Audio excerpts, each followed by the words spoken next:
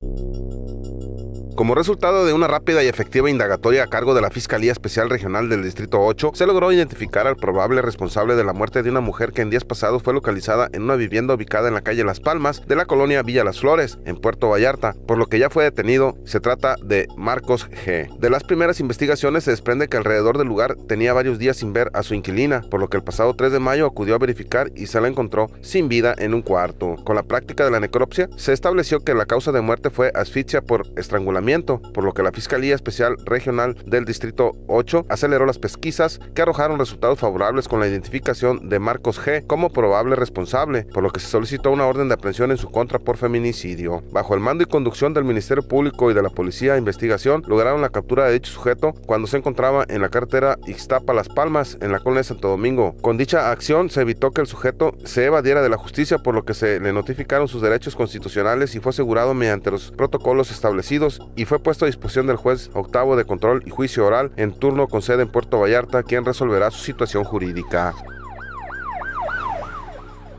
Dos agentes de la Policía Municipal de Puerto Vallarta resultaron con lesiones al momento de que el vehículo en el que viajaban se impactó contra otro sobre la carretera 200 frente al aeropuerto. Se dio a conocer que las dos oficiales de la policía abordaban un vehículo Chevy en color blanco por la carretera 200 rumbo a las juntas. Al llegar a la gasolinera del aeropuerto, salió un vehículo de una plataforma en color blanco, cortándoles la circulación e impactando en la parte trasera de este. Tras eso, ambas resultaron con golpes, al igual que el conductor, quien se dolía de un pie, por lo que pidieron la presencia de las autoridades. Debido a que reportaron que eran policías, el lugar se llenó de elementos de la policía municipal de diferentes áreas. Hasta los de la patrulla verde llegaron. En el lugar, personal paramédico se hizo cargo de brindar los primeros auxilios a lesionados, quienes no requirieron traslado a un hospital, por lo que llegaron los oficiales de tránsito quienes levantaron los registros en torno a los hechos. En el informe se dio a conocer que el vehículo Chevy circulaba de sur a norte por los carriles laterales y al llegar a la estación de gasavión del aeropuerto, un vehículo salió luego de que le dieron el paso, pero este, en vez de tomar el carril lateral, se fue al central por donde circulaba el Chevy sobreviniendo la colisión. Al lugar se presentaron los ajustadores de seguros quienes procedieron a llegar a un acuerdo.